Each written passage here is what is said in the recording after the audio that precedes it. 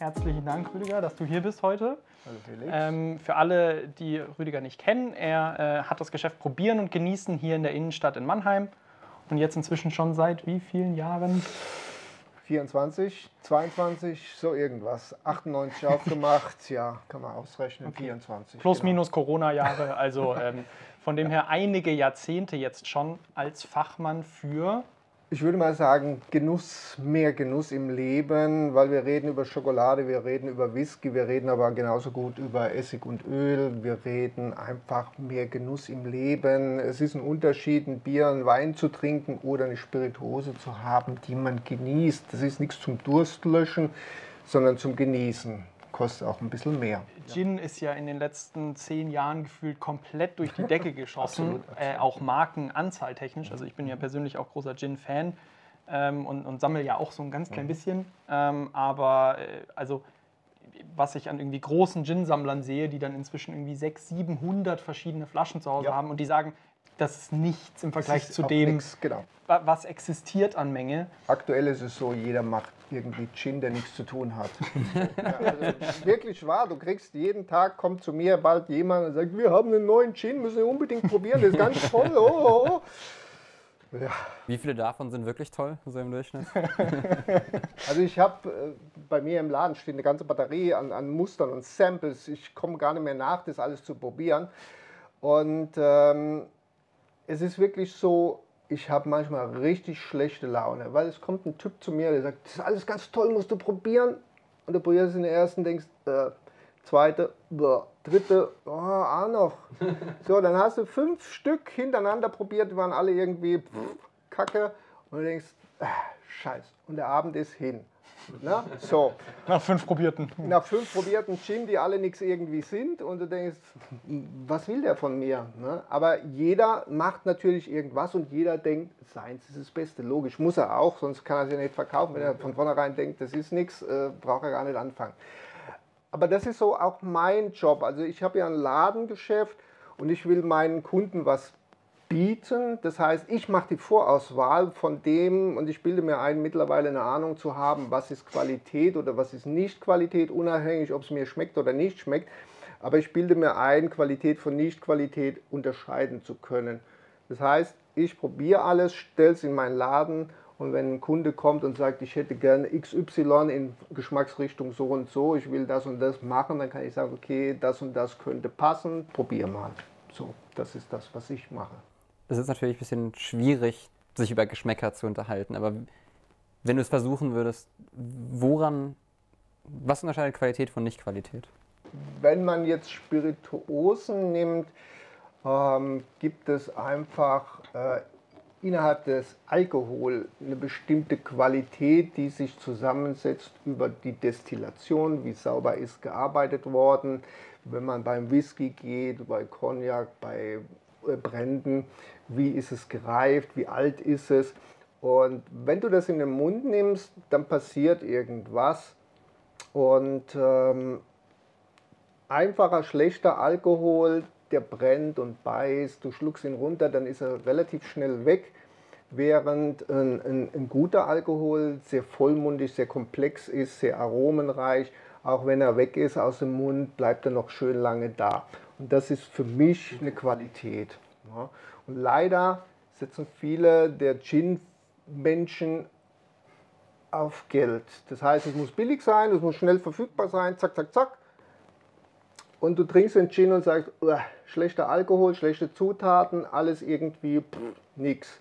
Und wenn du jetzt zum Beispiel sowas nimmst, in Hills Harbour ist ein schöner Start-up aus Schottland, richtig gute Qualität, tolle Idee hinten dran und wenn man den trinkt, äh, du, du denkst, du sitzt irgendwie am Meer, äh, hast einen Cocktail im Mund mit äh, Mango, mit frischem Meerwasser. Und das ist das, was, was ich mit Qualität verbinde. Ich glaube, es gibt keine Ahnung, wie viele Gin-Selbstmachkits auf Amazon. Deutlich weniger mit Whisky, habe ich festgestellt. Es gibt sie auch. Es gibt Gin-Selbstmachkits. Habe ich, noch nie gehört. Ohne Ende.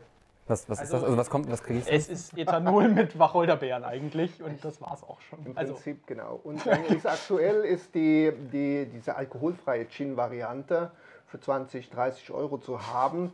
Und äh, im Moment mache ich mir ein bisschen einen Joke draus, dass ich die Leute in den Teeladen nebendran schicke und sage, kauf euch einen Kräutertee, gieß den einfach auf, lass ihn kalt werden und dann hast du deinen alkoholfreien Gin. Ne? So, ähm, ist zwar ein bisschen ganz schwarz-weiß gemalt, aber im Prinzip, sorry, ist es das. Ne? Also, Was ist denn von all den Dingen, die du verkaufst, also von den Kategorien, sage ich mal, Whisky, Schokolade, Essig, was ist denn dein persönlicher Favorit, einfach hinsichtlich Genuss? Was davon magst du selber am meisten? Espresso. Nee, Espresso. Quatsch. Ich bin ein Espresso-Freak, aber Ah, ähm, ich verkaufe auch ein bisschen Kaffee, aber das ist nicht das Thema. Ähm, ich bin absoluter Schokoladen-Nerd. Ich mag Whisky sehr gern, ich trinke auch sehr gern Rum. Das ist so meins, so, wo ich sage, wow. Und äh, es gibt äh, ganz schwarz-weiß gemalt immer eine Gruppe Leute, die bestimmte Geschmacksvorlieben haben. Also es gibt die Kombination Rum und Whisky oder es gibt die Kombination Whisky und Gin. Dass jetzt jemand alle drei Kategorien mag, ist eher super selten. Ne? Also so die Leute sagen, ah, ich hätte gern Rum oder ich hätte gern Gin oder anders. Aber dass jemand sagt, ich hätte alles drei gerne, ist Unterschied. Es funktioniert auch alles ganz unterschiedlich. Es ist auch ganz, ganz verschiedene ähm, Situationen. Ne? Ein Gin ist eher so ein Long-Drink-Cocktail, wo du, wo du einen großen Becher hast, irgendwie, da trinkst du, schlapperst du zwei Stunden. äh, ein, äh, ein Rum ist ein Sommergetränk, vielleicht mit einem Espresso, mit einer Zigarre, so schön draußen sitzen, genießen, während ein Whisky so ein, so ein ganzjahres äh, Wintergetränk ist, wo du mal so im Kaminsessel quasi sitzt mit dem Buch, gute Musik und dann trinkst du halt so ein, so ein kleines Gläsel Whisky. So, das ist so, also so, so wohlfühlen, relaxen, runterkommen, genießen. Das, das ist das, wa- was diese Getränke machen und für jede Situation halt ein bisschen anders. Und der Vorteil beim Gin, deswegen ist er vielleicht auch gerade so populär, du kannst alles machen, was du willst. beim Whisky, Wasser, wow, Eiswürfel, wow, bloß nicht. Äh, beim Rum schon ein bisschen, ja, okay, aber beim Gin, du kannst wirklich alles machen. Du kannst Gemüse reinschmeißen, du kannst, du kannst äh, wirklich alles. Im Moment, wir haben zu Weihnachten, wir haben den Leuten Essig verkauft. 40 Maracuja-Essig für in den Gin. Und die Leute haben es geliebt. Die sagen, wow, was ist das? Geil, sowas will ich. Und die haben die gekauft, gekauft, gekauft. Also das funktioniert. Und du kannst halt wirklich alles machen, was du willst. Also es gibt auch guten Gin, Es gibt, es gibt guten Gin, natürlich, klar. Und es ist auch richtig Genuss. Aber du kannst ihn so trinken, wie du willst. Verstehst du? Beim Whisky bist du, bist du gebunden. Geh, geh in einen Whisky-Club, geh, geh irgendwo hin. Ja, Cola mit Whisky, what the fuck, geht gar nicht. Ähm, Eiswürfel rein, uh, nee, auch nicht. Also du trinkst den pur oder lässt es halt bleiben. Punkt. Aber beim Gin, du kannst machen, was du willst. Und das ist der Vorteil. Zumindest mit den hochwertigen Whiskys. Ich sage mal, wenn man jetzt in Ja. die etwas größeren Destillereien geht und äh, dann in die etwas modernere Barkultur auch irgendwie reingeht, gibt es inzwischen auch sehr, sehr viele Es Whisky-Drinks. gibt sehr gute Cocktails sehr auf Basis gute- von Whisky und von Genau. Rum und von Gin, natürlich, klar, logisch. Aber sage ich mal, äh, so wie auch der Kaffee, der Espresso die Krönung des Ganzen ist, Hm. äh, wo sich auch die Bar, äh, die, die, die Kaffeeshops unterscheiden, wenn du mal Espresso trinken gehst und du gehst wo rein und du sagst, oh, was kommt denn jetzt für ein plörre Zeugs, Wasser, äh, schwarzes Wasser.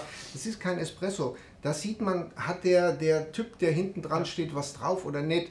So, und das ist auch beim, beim Whisky so. Du kannst den pur trinken und dann muss er gut sein. So, und wenn er halt nicht so gut ist, wenn er auch günstig ist, dann kannst du logischerweise einen Cocktail draus machen. Es gibt sehr viele gute äh, Whiskys für Cocktails. Ja. Wenn ich Alkohol trinke, Whisky ist das Beste, was ich machen kann. Es ist lang gereifter Alkohol, er ist äh, langkettig, er belastet den Organismus nicht, er ist kohlenhydratarm, äh, lässt den Blutzuckerspiegel nicht dopsen. Ich habe nächsten Tag keinen dicken Kopf, wenn es eine gute Qualität ist. Und er macht einfach Spaß, weil er, weil er vom Geschmack toll ist. Ne? Das, es gibt nur aus Schottland 1200 Whiskys. Kann ich mein ganzes Leben lang trinken und probieren und komme überhaupt nicht zum Schluss. Meine Kumpels vom Whiskyverein, die haben das größte Problem, dass sie mit ihren Samples nicht nachkommen. ja, Luxusproblem. Absolutes Luxusproblem. Wenn man sich damit auskennen möchte, Genau. dann kann man sich damit beschäftigen. Ist auf jeden Fall ein Bereich, der für mich auch sehr, sehr neu war, Mhm. bevor ich das erste Mal im Probieren und Genießen war.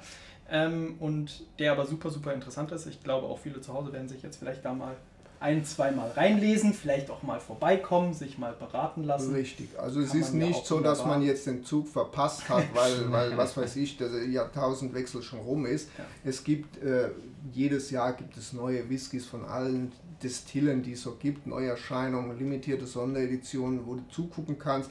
Aktuell ist es so, vieles kommt auf den Markt für Preis X und äh, steht zwei Tage später Preis dreifach, vierfach in der äh, elektronischen Bucht äh, im Internet äh, für wirklich alle, die den Zug verpasst haben. Super. Dann ganz, ganz großes Dankeschön, dass du heute Ich Abend danke auch euch, da dass warst. ich da war. Und äh, nach der kleinen Werbepause geht es auch schon wieder weiter. Okay. Vielen Dank.